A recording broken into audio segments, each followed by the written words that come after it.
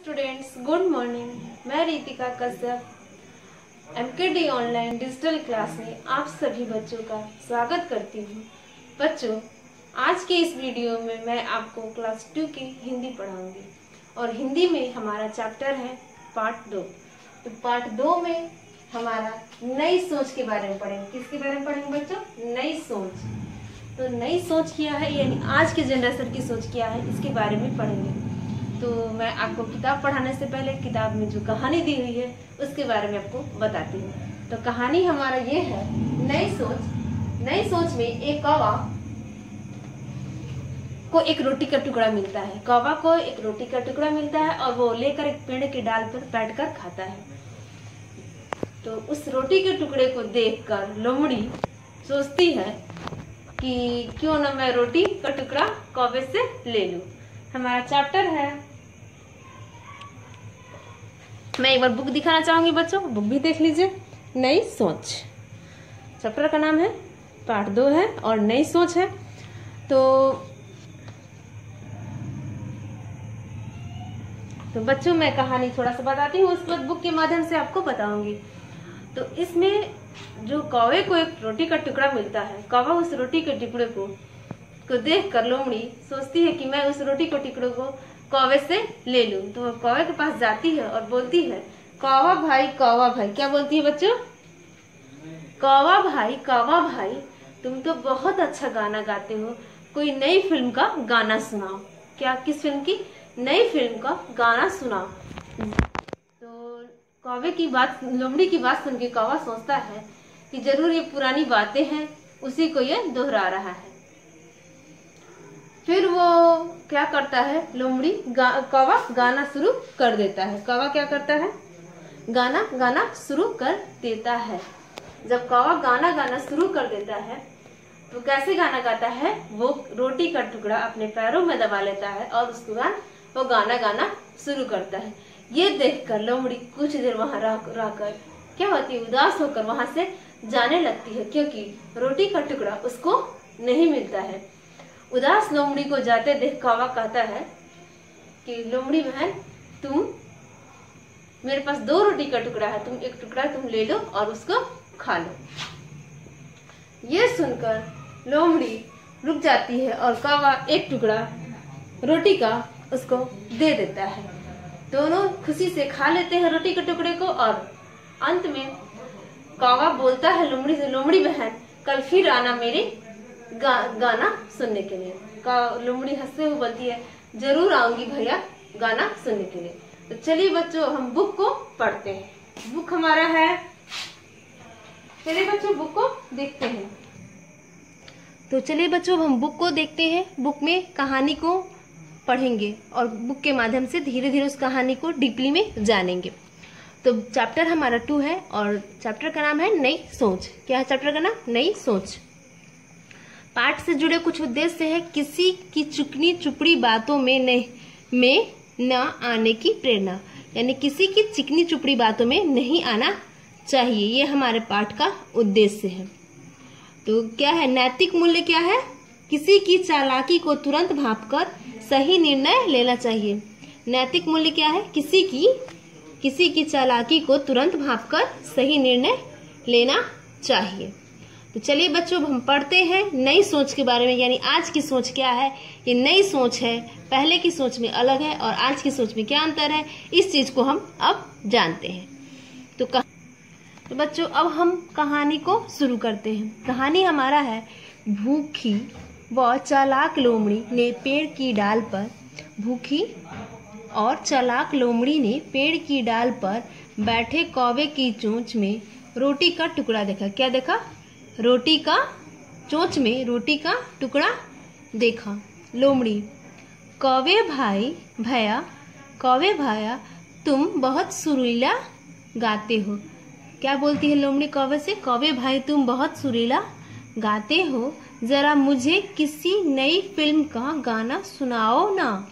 क्या बोलता है? किसी नई, मुझे नई फ़िल्म का गाना सुनाओ। किससे कौवे से बोलता है लोमड़ी? कि भैया, तुम बहुत अच्छा गाना गाते हो, बहुत सुरीला, मीठा गाना गाते हो।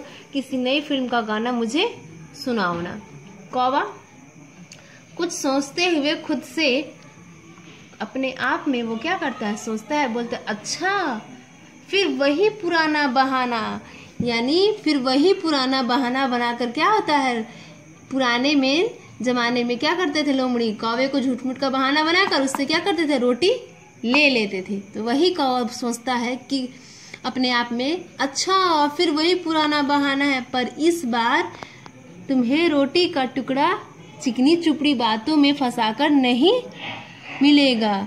वो सोचता है कि इस बार तुम्हें रोटी का टुकड़ा, क्या चिकनी चुपड़ी बातों में फंसाकर नहीं मिलेगा? यानी मुझे चिकनी चुपड़ी बातों में फंसा कर तुम रोटी का टुकड़ा मुझसे नहीं ले सकते हो। रोटी का टुकड़ा डाली पर रखकर। क्या करता है कौवा? रोटी का टुकड़ा डाली पर रखकर, लोमड़ी बहन, क्या कहा? डाली पर उसने रोटी का टुकड़ा रख दिया और लोमड़ी से कहती है कि क्या कहा लोमड़ी बहन तुमने? जरा एक बार फिर से कहो कहो ना। क्या कहा? जरा एक बार फिर से कहो ना। लोमड़ी, अपने आप से, अरे रोटी का टुकड़ा तो इतन इसने डाली पर रख दिया। लोमड़ी भी अपने आप से बात करती है।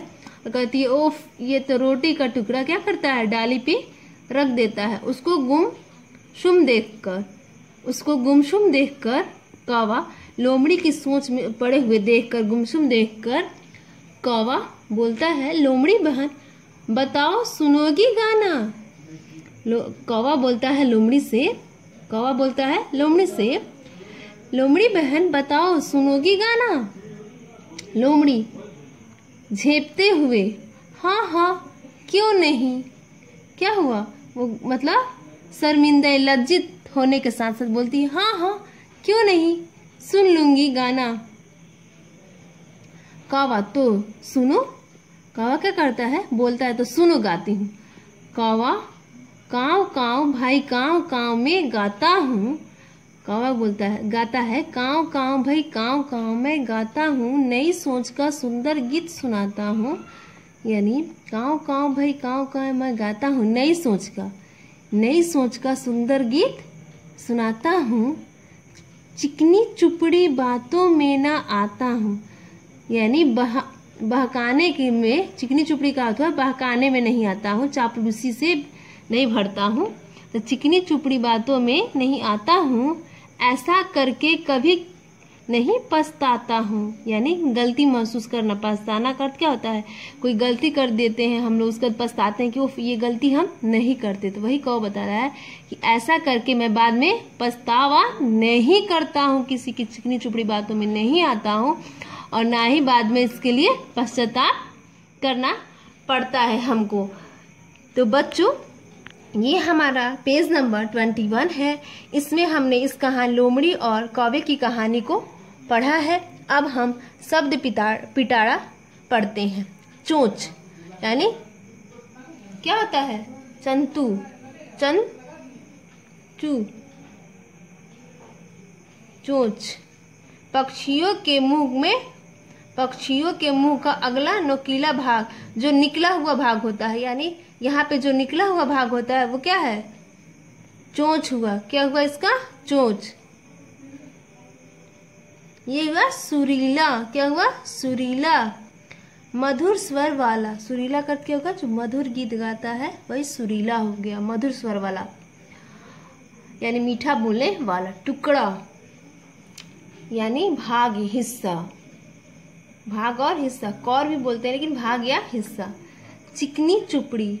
बहकाने के लिए की जाने वाली, यानी बहकाने के लिए की जाने वाली या फिर चापलूसी से भरी, चापलूसी से भरी। झेपते हुए झेपते हुए अर्थ क्या हुआ? शर्मिंदगी या फिर लज्जा के साथ, शर्मिंदगी या फिर लज्जा के साथ। पछताना पछताना यानी गलती महसूस करना, पछताना यानी गलती महसूस करना। तो बच्चों, ये हमारे चैप्टर टू की कहानी नई सोच की कहानी का हमने कुछ भाग पढ़ा है पेज नंबर ट्वेंटी और पेज नंबर ट्वेंटी वन कहानी के साथ साथ आप शब्द पिटारा भी याद कीजिएगा। कहानी के साथ साथ बच्चों, हम शब्द पिटारा भी याद करेंगे और नेक्स्ट वीडियो में हम अपने शेष बचे हुए कहानी को पढ़ेंगे। नेक्स्ट वीडियो में हम जो शेष बची हुई कहानी है उसको मैं आपको बताऊँगी। तो बच्चों, तब तक के लिए आप अपने घर में रहिए, सुरक्षित रहिए।